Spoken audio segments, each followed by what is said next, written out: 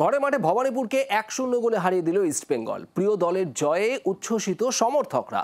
ডুরান্ডের ডার্বিতে তিন গোলে দল জিতবে বলে দাবি সমর্থকদের। জেসিন্টিকের গোলে ম্যাচ জিতে ইস্টবেঙ্গল সমর্থকেরা উচ্ছ্বসিত। ইস্টবেঙ্গল এই ম্যাচ জিতে ইস্টবেঙ্গল টপে চলে এলো। তাহলে গতবার যে লিগটা আসেনি সেটা কি এবছর আসতে চলেছে? হান্ড্রেড পার্সেন্ট এবছর আসবে। আমরা আমাদের সেরা ফর্মে রয়েছি। আমাদের প্লেয়াররা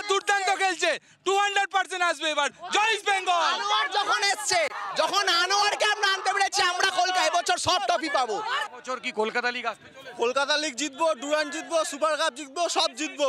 চোদ্দ তারিখ সাথে তো ডার্বিও আছে। জিতবো ডার্বি জিতবো তিন শূন্য তিন শূন্য।